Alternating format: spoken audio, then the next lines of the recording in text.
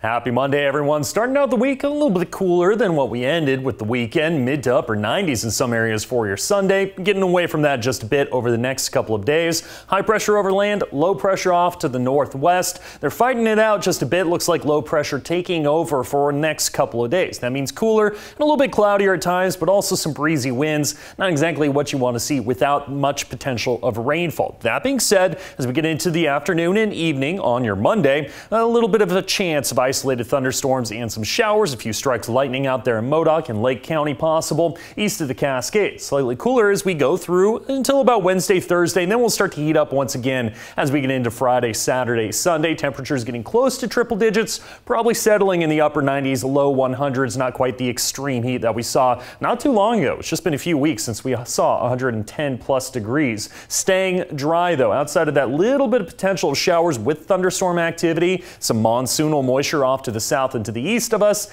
Dry conditions likely to continue, so our fire weather likely to see extreme critical danger as we go over the next seven days and probably beyond. This typically is the driest period of the year. Tonight, partly cloudy, some breezy winds, temperatures mainly in the 60s. Nothing unusual for the coast. Breezy again tomorrow. After some clouds in the morning, mostly sunny by the afternoon. Mostly sunny as well throughout the next 24 hours for the West Valleys. I say mostly sunny though. A lot of high level cirrus clouds, ice crystal clouds up there, just blocking out the sunlight just enough to keep us cooler. Going with 91 degrees for Medford, 94 for Yreka, and east of the Cascades, also partly cloudy. Have some potential of isolated thunderstorms as you get into Lake and Modoc County, especially into Modoc County. Temperatures right around 90 degrees tomorrow afternoon. Some smoke, some haze though, due to those fires. The seven day forecast, bit cooler towards Tuesday, Wednesday, Thursday, and then right back to hotter than average temperatures towards Friday, Saturday, and Sunday. Occasionally some clouds. Klamath Basin, also hazy, windy, dense smoke in parts of northern Klamath and Lake County